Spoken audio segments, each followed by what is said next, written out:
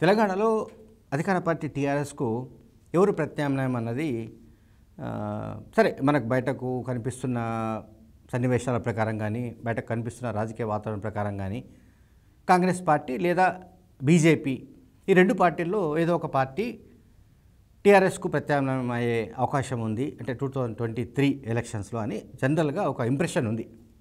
ప్రజల్లో ఆ రకమైన ఒక ప్రచారం ఉంది. ప్రజల్లో ఆ రకమైన ఒక అభిప్రాయం ఉంది. బట్ వైఎస్ఆర్టీపీ అధ్యక్షురాలు షర్మిల మాత్రం నేనే ప్రత్యామ్నాయం అని ఆయన చెప్తుంది. ఆమె ఎట్లా ప్రత్యామ్నాయం అవుతుందో ఆమెకున్న బలం ఏమిటో మనకు తెలియదు. ఆమె అంచనాలు ఏమిటో కూడా మనకు తెలియదు. సాధారణంగా తెలంగాణలో తెలంగాణ జిల్లాల్లో ఉన్న ఒక వాతావరణం ఏంటంటే ఇప్పుడు ఇవాళ అంటే జూన్ ఇరవై తొమ్మిది నాటికి ఉన్న పరిస్థితి ఏమిటంటే టీఆర్ఎస్ పార్టీని కొన్ని చోట్ల బీజేపీ గట్టిగా ఢీకొనవచ్చు.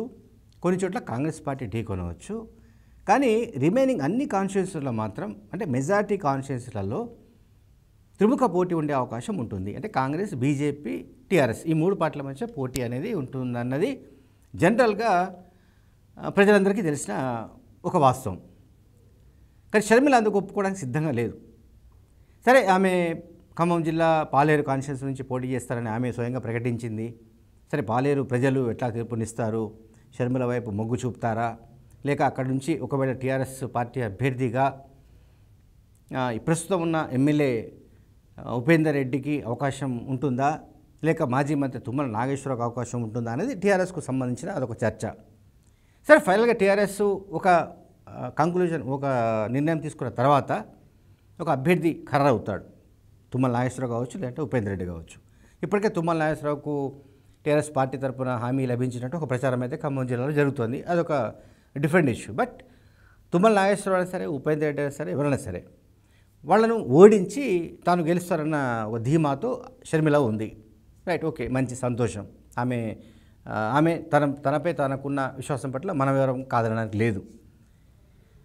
వైఎస్ రాజశేఖర రెడ్డి కూతురు షర్మిల తెలంగాణలో ఇప్పుడున్న అధికార పార్టీ అంటే రెండుసార్లు ఆల్రెడీ అధికారంలోకి వచ్చిన పార్టీని ఢీకొని ఆల్టర్నేటివ్ ఒక ప్రభుత్వాన్ని ఏర్పాటు చేసే సత్తా ఆమెకు ఉందా? ప్రజలు ఆమెకి ఇవ్వగలరా? ప్రజల్లో ఆమె అంతగా పర్కులేట్ కాగలదా? అవుతుందా? అన్నది చాలా సందేహాలు ఉన్నాయి అట్లాగే ఇప్పుడు బహుజన సమాజ్ పార్టీ అధ్యక్షుడు ప్రవీణ్ కుమార్ ప్రవీణ్ కుమార్ మనం మర్చిపోతున్నాం. ఆర్ఎస్ ప్రవీణ్ కుమార్ మాజీ ఐపీఎస్ అధికారి. ఆయన కూడా భారత బహుజన సమాజ్ పార్టీ అధికారంలోకి వస్తుందని ఏనుగు గుర్తు కలిగిన జెండాను ప్రగతి భవన్ ఎగర ప్రగతి ప్రగతి భవన్ పైన ఎగర ఎగురవేస్తామనో. లేకుంటే ఆ ఏనుగు గుర్తు ఉన్న జెండాతో ప్రగతి భవన్లోకి వెళ్తామని ఏదో కొన్ని చెప్తూ వస్తున్నాడు ఆయన.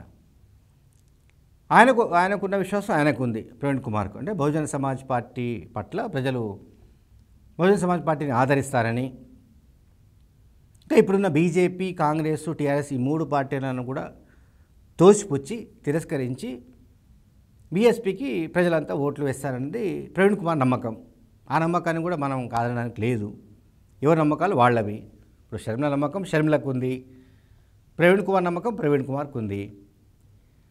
సమస్య అంతా ఏంటంటే ప్రవీణ్ కుమార్ అయినా షర్మిల అయినా వీళ్ళు ఎన్ని నియోజకవర్గాల్లో నూట పంతొమ్మిది నియోజకవర్గాల్లో ఎన్ని నియోజకవర్గాల్లో వీళ్ళు ప్రభావితం చేసే అవకాశం ఉంది.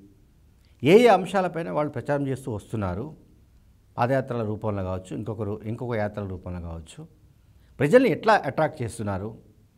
ప్రజలు ఏ ఏ అంశాలపైన వీళ్ళు మాట్లాడుతున్న దాన్ని బట్టి వాళ్ళు అట్రాక్ట్ అవుతున్నారు? వాళ్ళు నిజంగానే బహుజన సమాజ్ పార్టీని అధికారంలోకి తీసుకొని రావడానికి నిర్ణయించుకుంటారా? అనేది మనం ఊహించలేని విషయం అది.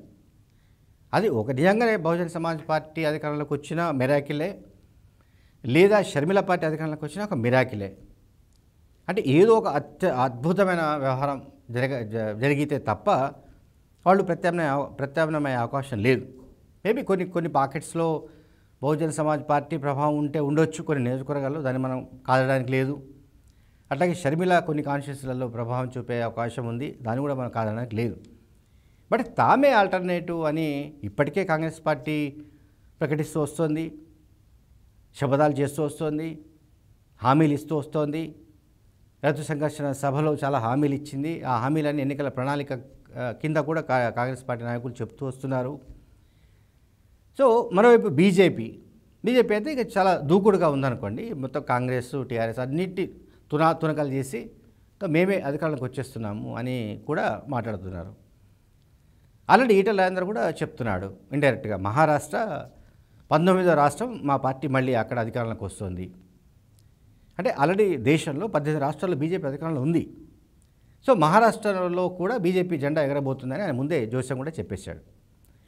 అసలే అంటే బీజేపీ కాంగ్రెస్ పరిస్థితి ఒక రకంగా ఉంటే ఈ ప్రవీణ్ కుమార్ షర్మిల చూపే ప్రభావం ఎంత? దానివల్ల ఏ పార్టీకి ఎంత నష్టం జరుగుతుంది అనేది ఇంకొక చర్చ. సో మొత్తం మీద ఏంటంటే రాజకీయాలు తెలంగాణలో గడిచిన కొన్ని నెలలుగా బాగా వేడెక్కుతున్నట్టుగా కనిపిస్తున్నాయి. ముందు ముందు కూడా ఇదే వేడి ఇదే వాతావరణం కొనసాగే అవకాశాలు లేకపోలేదు. Thank you very much